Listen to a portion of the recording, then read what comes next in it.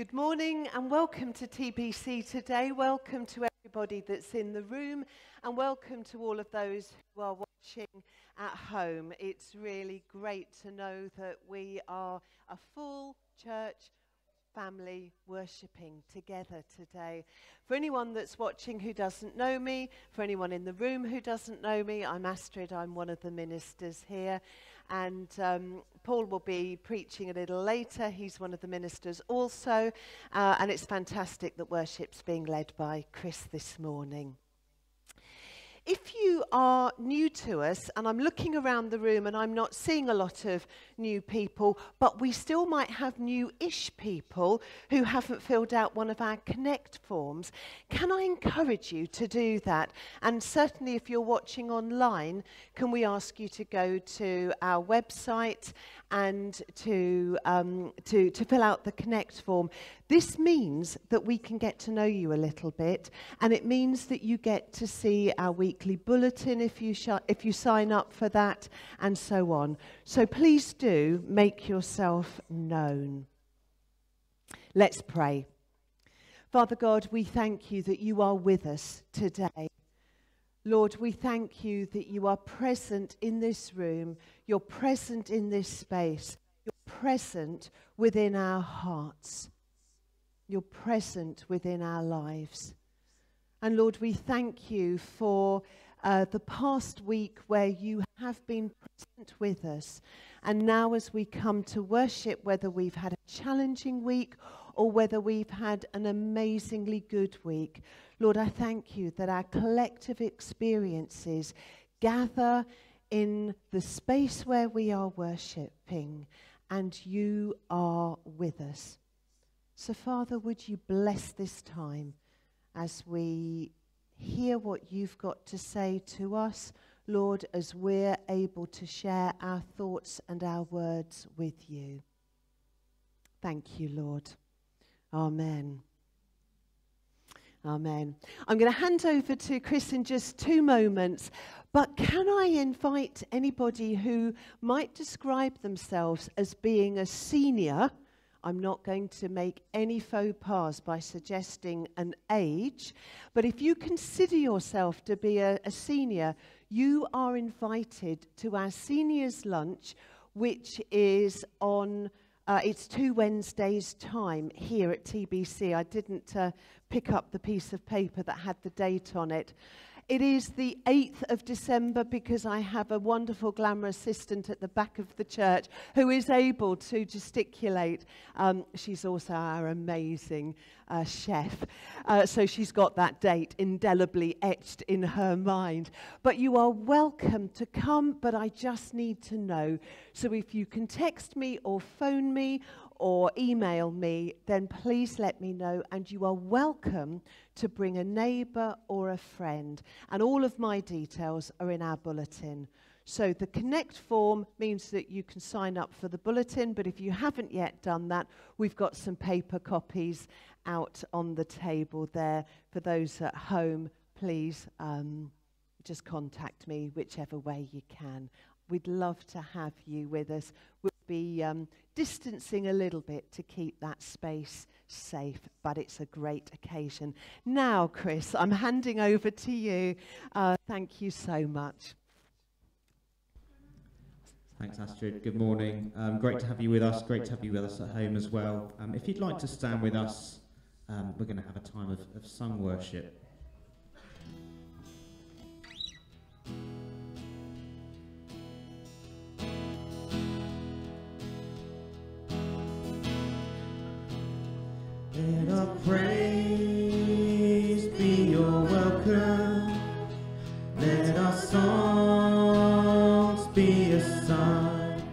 We are here for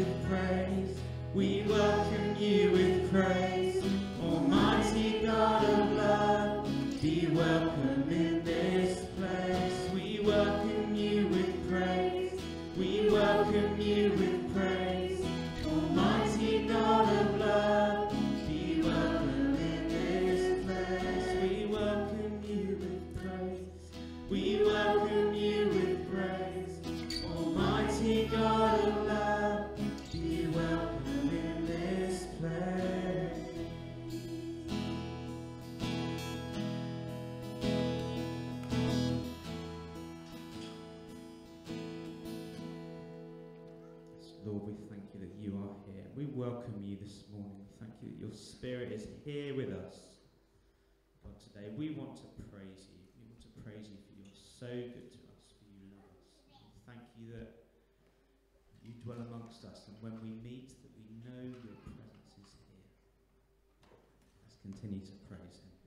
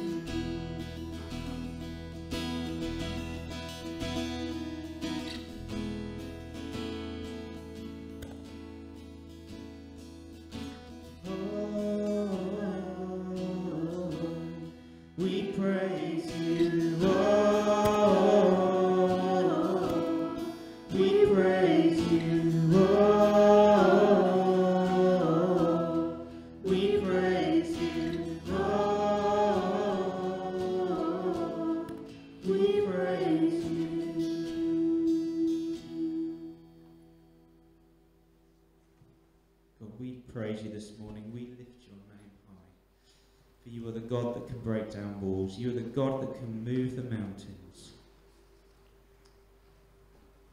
We thank you, Lord, that when we praise you, that you are here.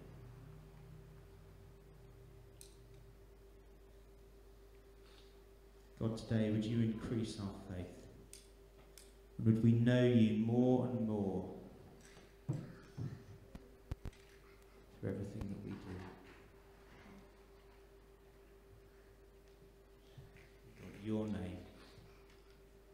the only name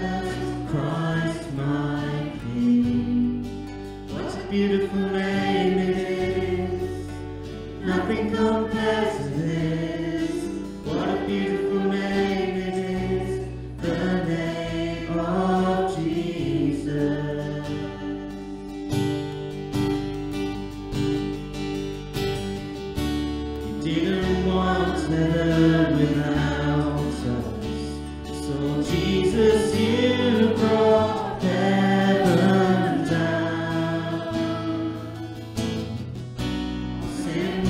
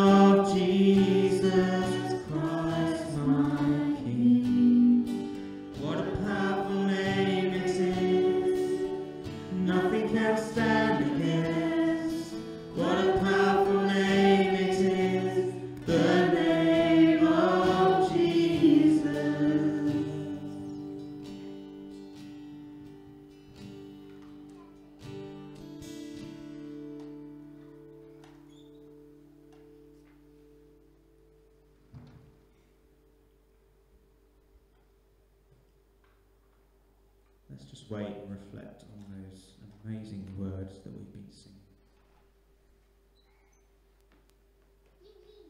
Death could not hold you. The heavens are roaring.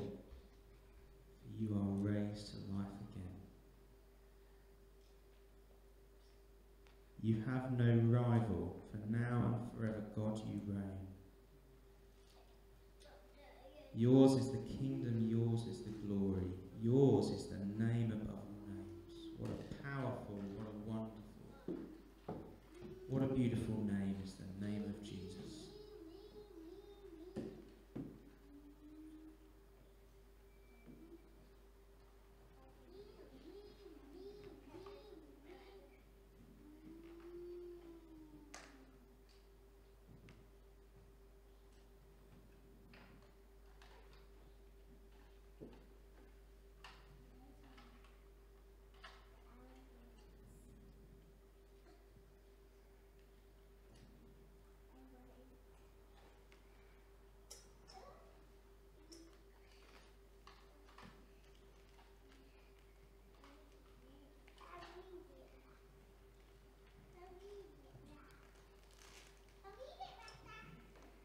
Amen. If you'd like to take a seat.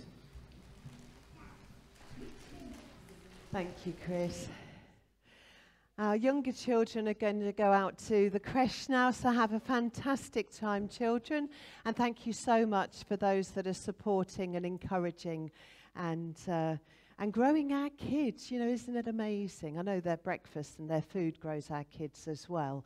But in terms of their hearts and their minds and, and um, encouraging them in, in their faith, it starts so much out there as well as what we do as parents. If you read your bulletin last week, you will have read a story. Earlier in the week, I to Paul, Oh, I think I'm going to share this story Sunday. And he said, You didn't read your bulletin, did you? Because he shared it last week. So that's my, well, one of my confessions for the week. But maybe I'm not alone. Maybe others of us didn't read our bulletin. And even if you did, a good story is always worth telling twice. Many of us are aware that we work with um, mission partners. Um, one is based in India, and one is based in the Philippines, and one is based in Africa, uh, sub Saharan Africa. And Dignity is the, um, the, the organization that's based in, in sub Saharan Africa. And they work establishing what they call life groups. Um, in whichever town or village, they kind of find people that are receptive to the idea. A life group is um, a bit like a small group with go deeper stripes. They transform the local community. They work across churches, they work across um, families and, and people in that town or their village. For, for anyone that wants to come and know more about Jesus and to um, work with others to transform their community by supporting, uh, that becomes a life group. It's deeply, deeply relational. And uh, John and Judith Witt, who head up the charity, they uh, shared a story on Facebook and then sent it out in their prayer bulletin.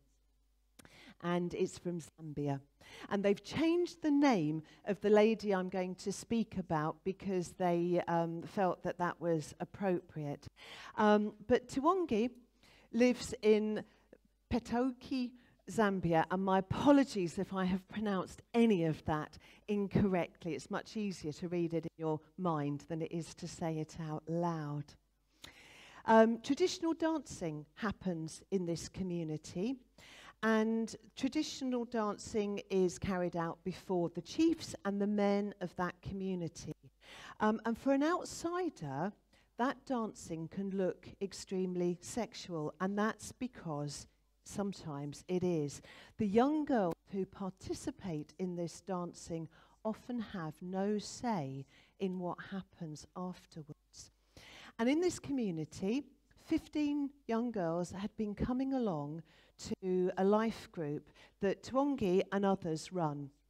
And they say something amazing is unfolding because together, this group of young women have decided to resist the calls to participate in the dancing and everything that goes in it. Their involvement in the small community of people standing for Jesus has encouraged them to be able to say no to one of the traditions that takes place where they live. No one told Tuongi to help these girls take a stand. What's happening is a natural outworking of the knowledge and the relationship that these girls have with Jesus. And I just wonder, you know, with knowledge and faith and a little bit of community boldness, where Jesus might encourage us to take stands in the communities that we live in as well. So we're going to pray for dignity. We're going to pray for Tuongi and her life group now. But as we reflect on what's happening out in Zambia, just allow the Spirit to work in you. How might God be calling us to make a stand for the kingdom? Let's pray. Father, we love hearing story of where you are at work. We have just sung, Your name, Jesus, is beautiful, and your name, Jesus, is wonderful, and your name, Jesus, is powerful. And Father, I thank you for the power that has been at work in this small community in Zambia. The power that has given a small group of young women the courage to say no. Jesus is my King, and this is the way we are going to live our lives. And we're willing to turn our back on practices in our community that are not in keeping with the kingdom. Father, we pray for Tuongi and those that she is working with. We pray for these young women who have taken a stand. We pray for their families. We pray that you will cover any element of shame that might have been reflected across their families. Lord, we pray against any repercussions that they might experience as a consequence of them saying no.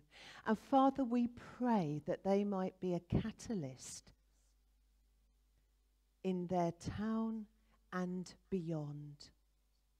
So, Father, we thank you for the work of dignity. We ask you to bless John and Jude, who are out in Africa at the moment, and just pray that wherever they go, they not only will be a collector of these amazing stories of you at work, but they will be sowers into communities where new life groups can start to be birthed and start to grow and start to feed communities that may not yet still be living in the way that you would have them live.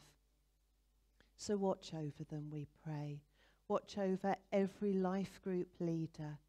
Lord, give them wisdom and sensitivity to your spirit so that when you say stand or go or rest or do, Lord, they will be receptive and they will be resourced to be able to follow the paths that you're leading them in. Lord, thank you for the privilege that we can partner with an organization that just refreshes our hearts and minds as we hear how you are working so many miles away. Thank you, Lord. Amen. Amen. We're going to continue in prayer now. We're going to continue uh, in, in a reflective time, and we're going to use the Lord's Prayer to help us do that. Uh, many of us will have been brought up to recite the Lord's Prayer in a, in a quick and in a, a kind of liturgical way. So I'm going to confuse you today because we're going to use the Lord's Prayer as it's written in the message. And we're going to pause after every sentence and we're just going to allow a little time for God to speak to us through those words. So the words will come up on the screen, and I encourage you to share them out loud if you feel comfortable doing that. But then we will just have a time of, of quiet for God to speak to us. So let's pray.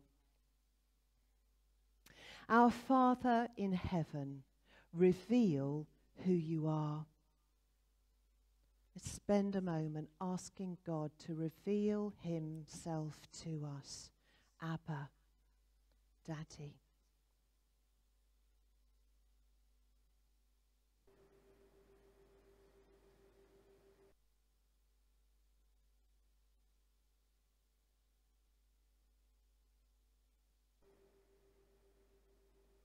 Set the world right. Do what's best as above, so below.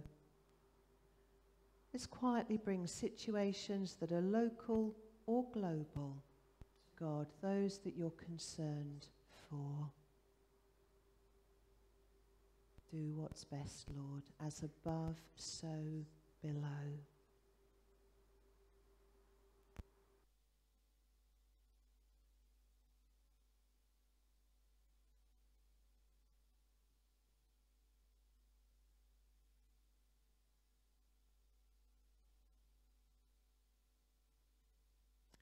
Keep us alive with three square meals. Let's thank God for the way that He provides for us.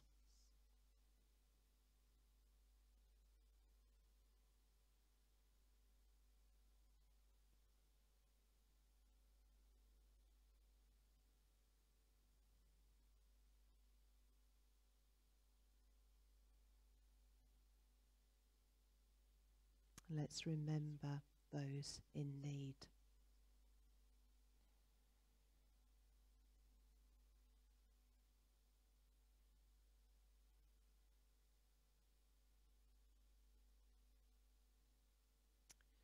Keep us forgiven with you and forgiving others. So, who have you forgiven recently? Is that relationship good in your heart? And who might you need to forgive further? Who's forgiven you recently? Bless them for their grace. Receive God's forgiveness where you yourself have sinned.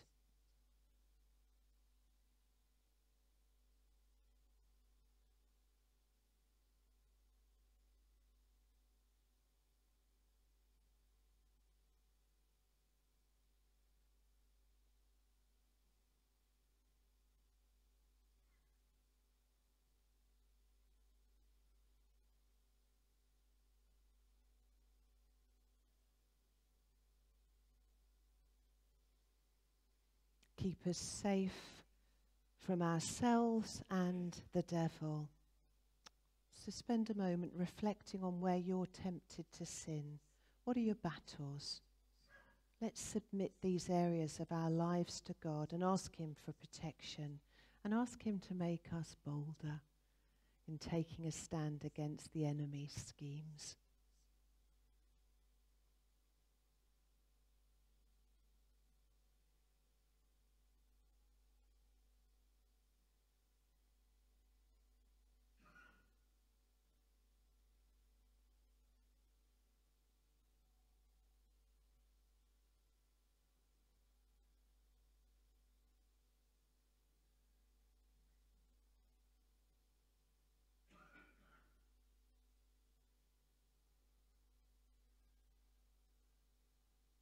God, you're in charge. You can do anything you want. So let's continue to quietly reflect on who God is Almighty, all knowing, Prince of Peace. And maybe we can call out single words that speak of who God is to us today.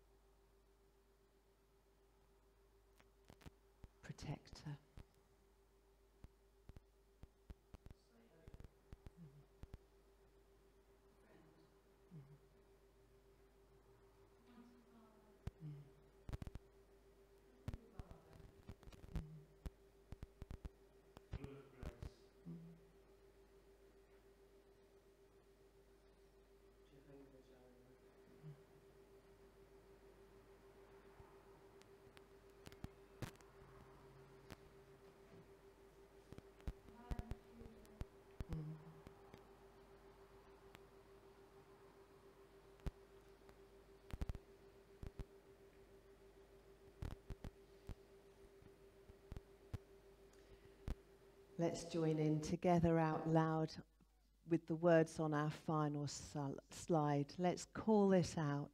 Uh, in fact, let's stand and pray these words. God, you're ablaze in beauty. Yes, yes, yes. We're going to stay singing, uh, standing as we sing.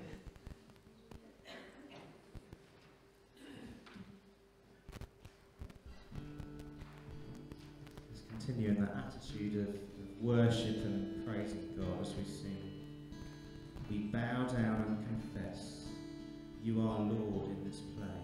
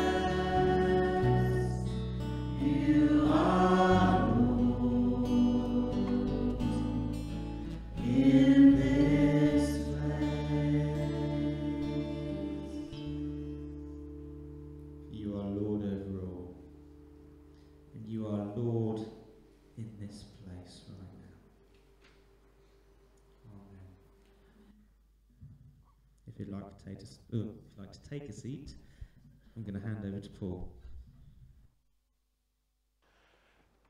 Thanks, Chris. Good morning. It's lovely to see you all.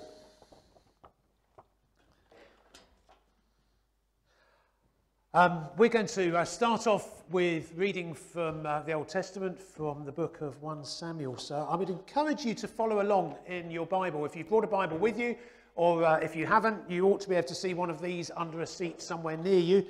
Um, do follow along with the passage when somebody's up here speaking, because otherwise I could be talking any old nonsense, couldn't I? Uh, I've only got something to say if it's coming out of here. Uh, if you've got a red Bible, we are going to be on page 300, so that's nice and easy to find. And I'm going to start reading from verse 3 of chapter 28.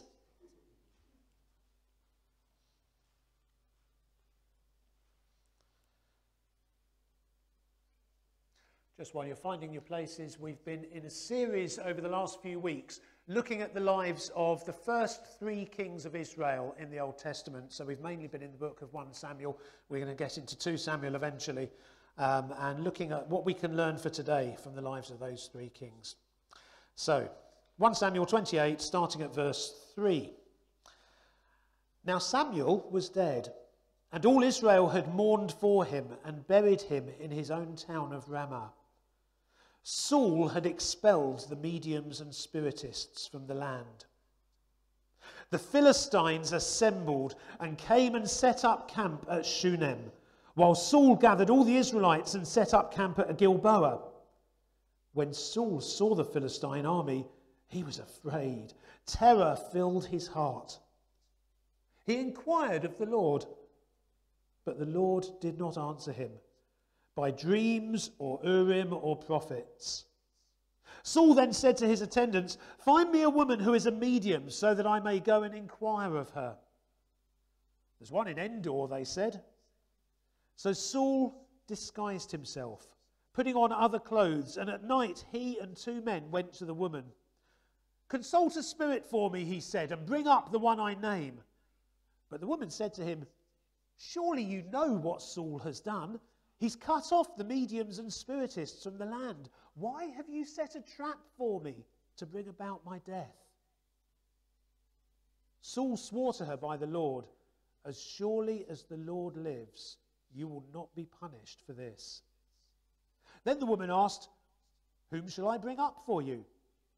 Bring up Samuel, he said. When the woman saw Samuel, she cried out at the top of her voice and said to Saul, Why have you deceived me? You are Saul.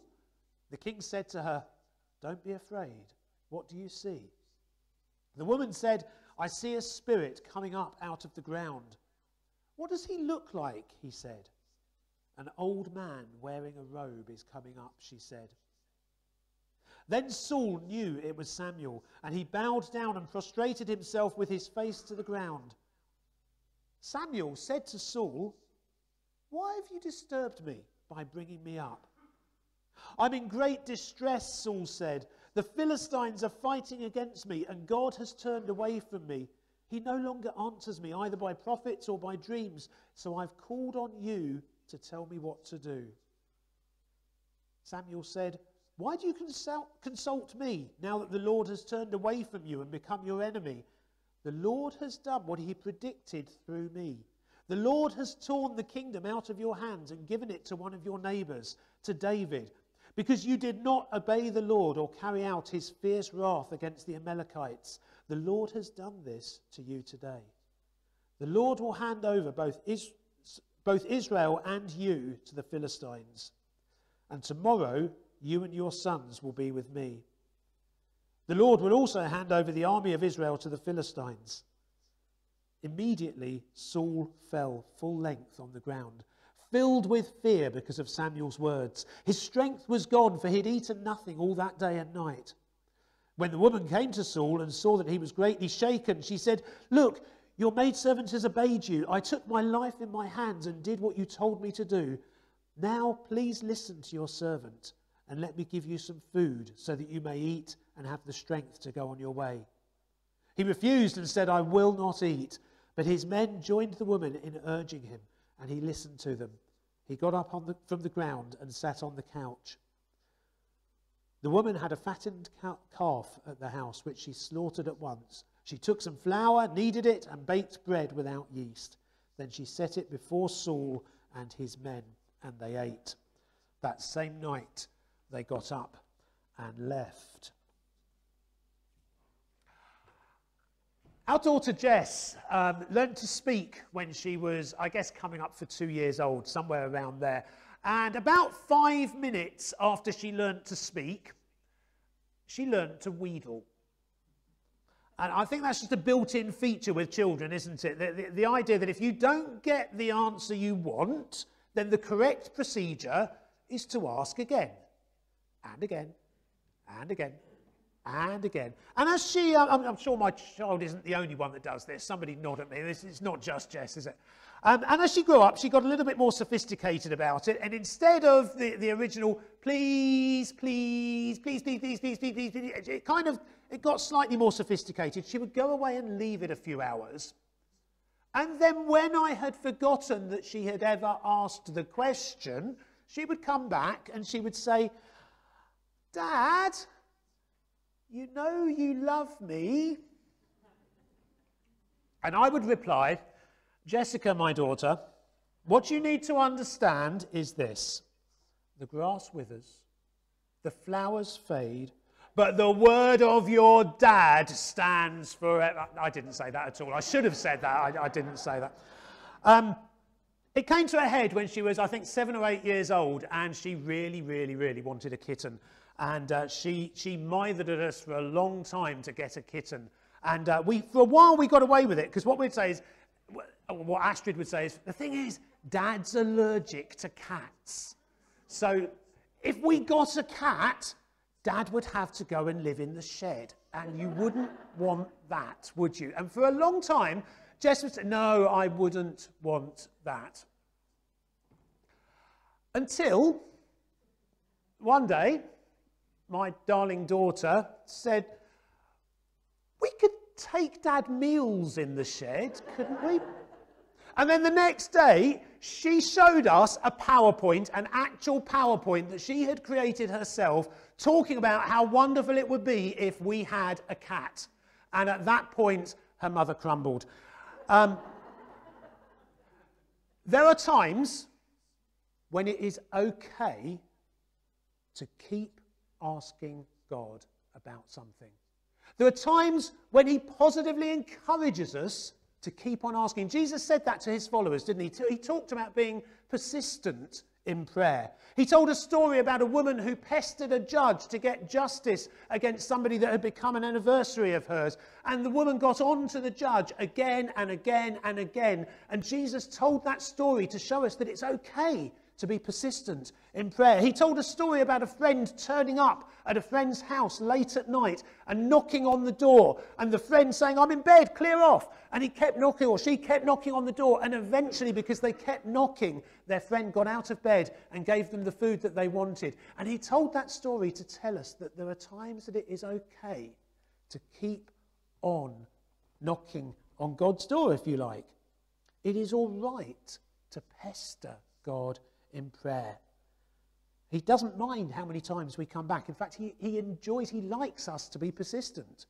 And there's probably a hundred different places in the Bible which talk about us continuing in prayer, pressing into God, praying until something happens. That's a good thing to do. But there's another kind of occasion when God has spoken and to get under the, the skin of what's happening in the passage I just read in, in 1 Samuel 28, you need to know what happened a few chapters earlier in 1 Samuel 15, when God had given King Saul some very, very specific directions. God had spoken. Saul was going into a battle, and God told him, You're going to win. And when you win, you have got to slaughter all the livestock of these people who you're going to defeat in battle. And Saul won the battle, and then he looked at all the sheep and he looked at all the cattle, and he thought to himself, maybe I'll just keep some of the nicer ones for myself and for my troops. And then Samuel the prophet rocked up and he said, What's going on? What are all these sheep? What are all these cattle? What's happening? What have you done with what God said? And Saul tried to rationalize his behavior, which is this thing they, they used to do in Bible times when they knew that they'd disobeyed God. And they just tried to find a way to explain it away. Of course, we don't do that these days. Listen to, to uh, what um, Saul, well, no, what Saul said in 1 Samuel 15 was, Yeah, you don't understand, Samuel. I was only keeping them so I could slaughter them as, um, as sacrifices to God. I was doing the right thing, really. I was, doing, I was doing something good. This is Samuel's reply from 1 Samuel 15. Does the Lord delight in burnt offerings and sacrifices as much as in obeying the Lord? To obey is better than sacrifice. And to heed is better than the fat of rams. For rebellion is like the sin of divination. Saul could have written that bit down and saved himself a lot of trouble a bit later on, couldn't he? Rebellion is like the sin of divination, and arrogance like the evil of idolatry. Because you have rejected the word of the Lord, he has rejected you as king. And then a couple of verses later, Samuel goes on and says this The Lord has torn the kingdom of Israel from you today and has given it to one of your neighbors, to one better than you. He who is the glory of Israel does not lie or change his mind. For he is not a human being that he should change his mind. There was no room for confusion. God had spoken. And when God speaks, wheedling stops, pestering stops. Asking again and again in the hope that he might forget what he has just said and give us a different answer has to stop. And we could probably save ourselves so much heartache if we just accepted that when God has spoken, he doesn't lie, he doesn't change his mind, he has spoken.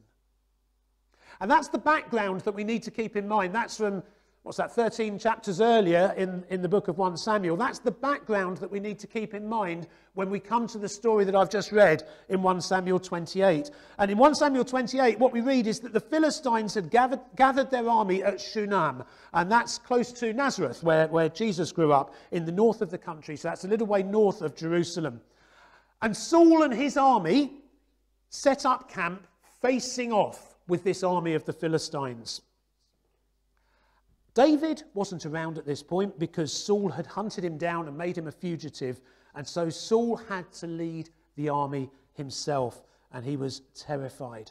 And on top of that, Samuel the prophet, who had always been there advising Saul, even if he didn't want to hear it, Samuel the prophet had died. And maybe that was it. Maybe God had spoken to Saul through Samuel so many times, and now Samuel wasn't there anymore. And perhaps Saul thought to himself, I know what God said, but that was before he saw this Philistine army. I know what God said, but now Samuel's not here, so perhaps God will see it differently.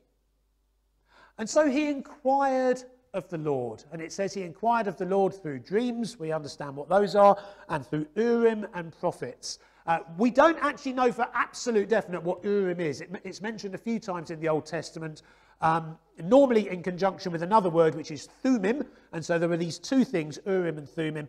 And the best that Bible scholars can tell is that they were two objects that were used when they cast lots to try and work out what God was saying. So they may have been like some kind of dice or something else. We're not 100% sure. But there was something used when they cast lots to try and work out what God was saying to them. But the point is that Saul went back and asked God for a different answer over something he had already pronounced about. Saul went back and asked God for a different answer. I do that. I know I do that. I do it in all sorts of areas of my life. I, have been trying to lose a bit of weight recently, and uh, I started doing something that I've never, literally never done in my life before, which is standing on the bathroom scales each morning. And I find myself doing these crazy things because there are some times that I look down and I see the number, and I do not like the number that I see. And so I try standing on one leg. Or I find myself thinking, perhaps if I breathe out all the way, or, or, or perhaps if I Forget it, Paul. The scales have spoken. And I need to get out of my place of denial and accept what they have said. How much more when God has spoken? How much more when God has spoken? When I know that God has spoken to me, and yet I find myself thinking, perhaps if I just explain the situation to him, perhaps if he sees that I'm really struggling with this. Perhaps he meant it back then, but maybe, maybe he sees it a bit differently now. I mean, I, I can rationalize a good argument for literally anything, and so can all of you.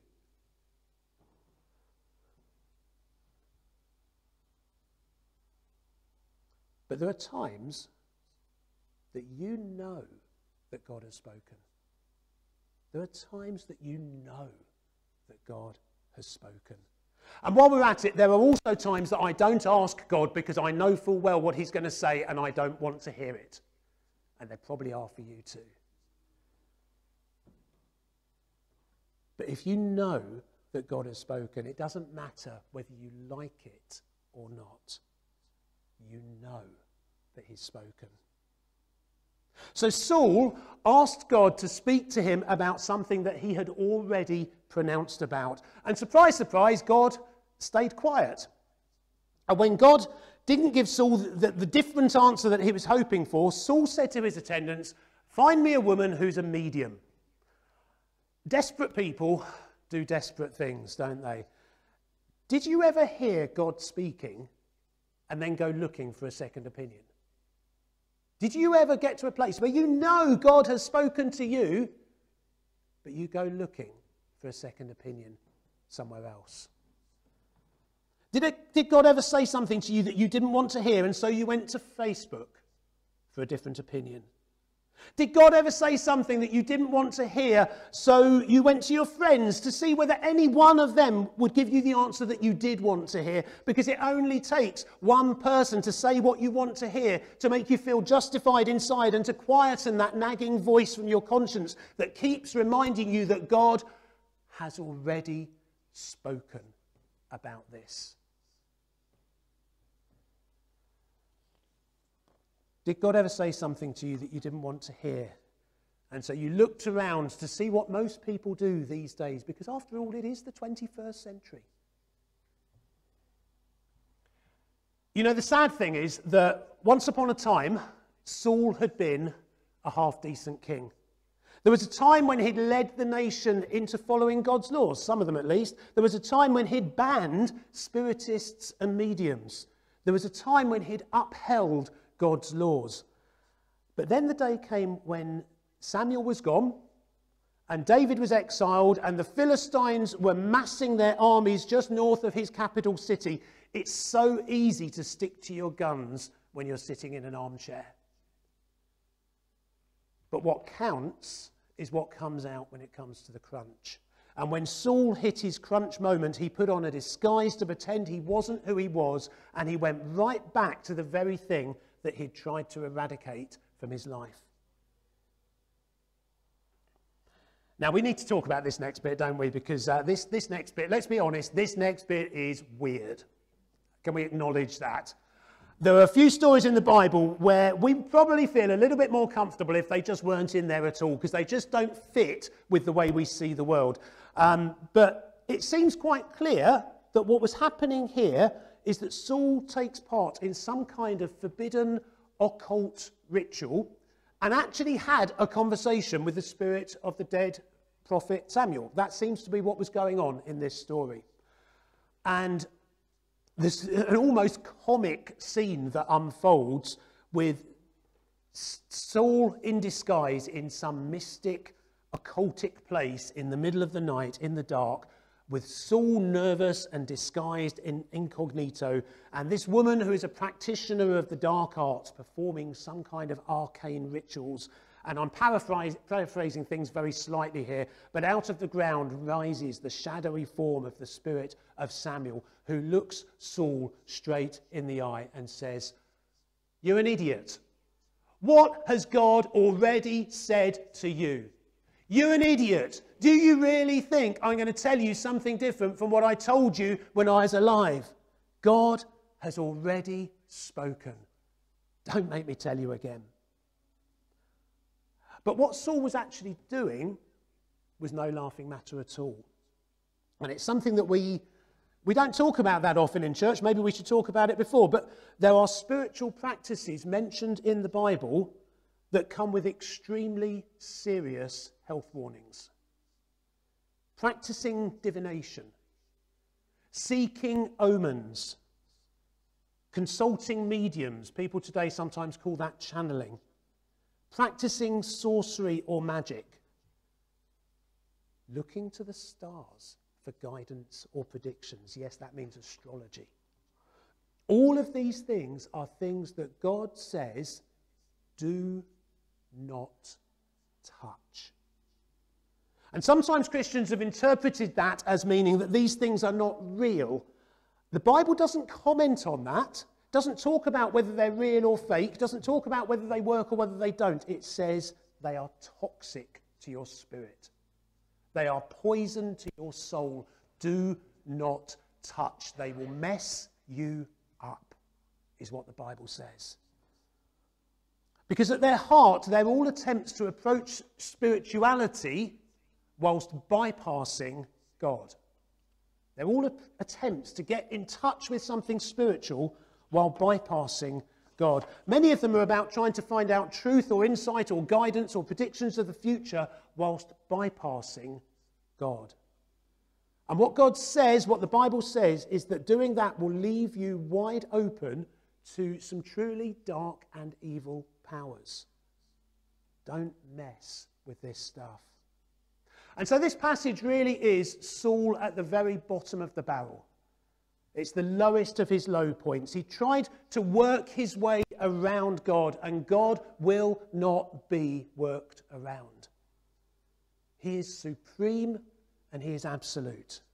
And it's become unfashionable to say this sort of thing in the modern world because everything is so relative and everything has to be so equivocal, and we're so afraid of causing offense. But God is above all and before all and over all, and He will not be second guessed, and He will not be worked around, and He will not share the first place in our lives that He deserves with anyone or anything else.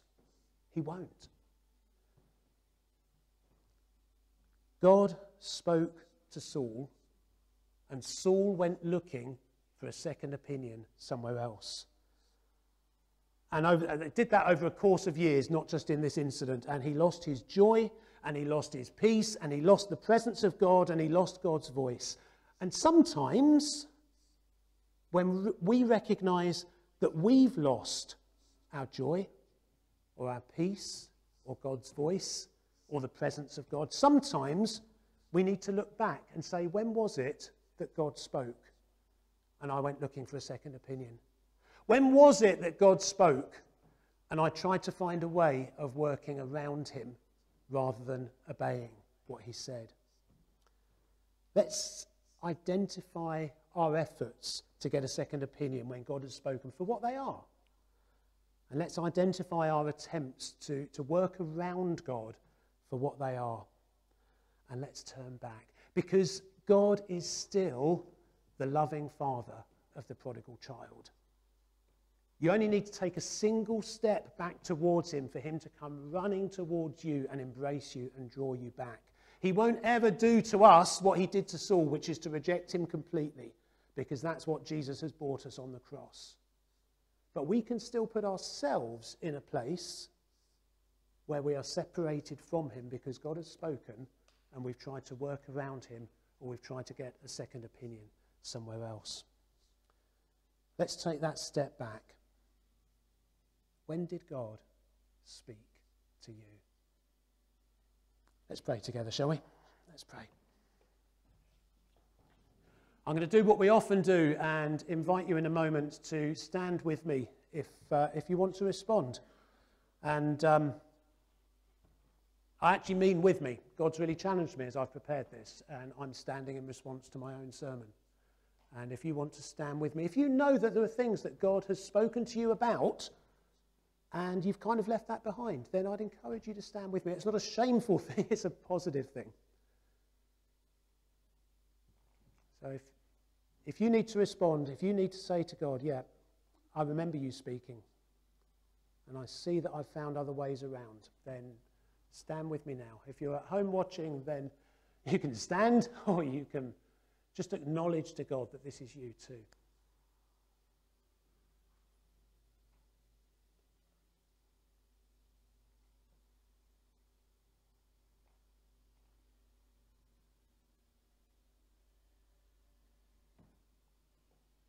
Holy Spirit, would you come and visit us now? We know you're here. We just pray that you'd make your presence felt, that you'd make your voice heard. Come, Holy Spirit.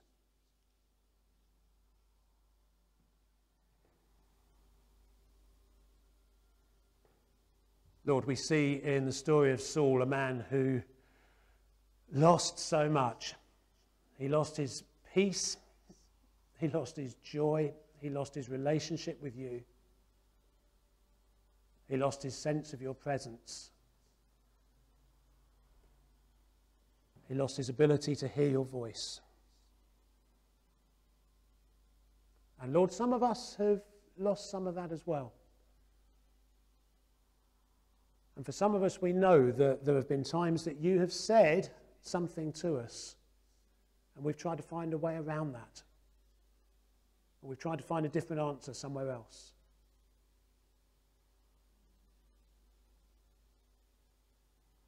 And Lord, we come to you this morning in repentance.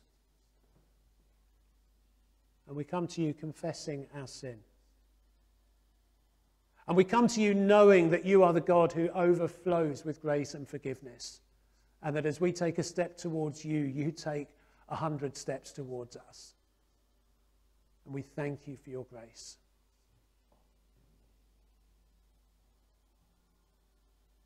Thank you that because of Jesus, we never get to the state that Saul got to.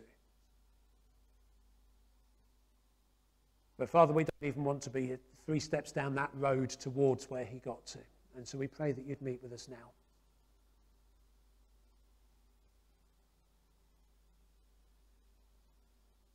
Lord, take us back, whether we're standing or not, take us back to those times when you've spoken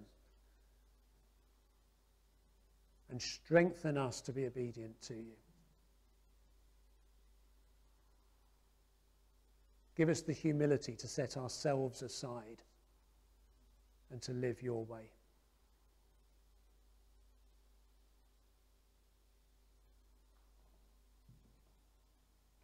And Holy Spirit, I want to pray that you would restore the time that we've had where we haven't felt your presence that you would restore your voice, that you would restore that sense of your presence with us.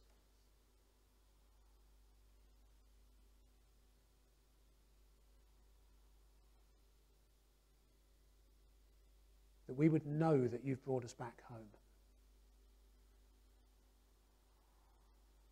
So, Holy Spirit, would you come? Would you minister your forgiveness, minister your grace, minister your healing, and minister your restoration?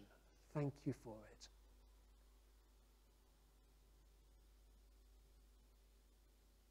In Jesus' name. Amen. Amen. Am I handing back to you or Chris?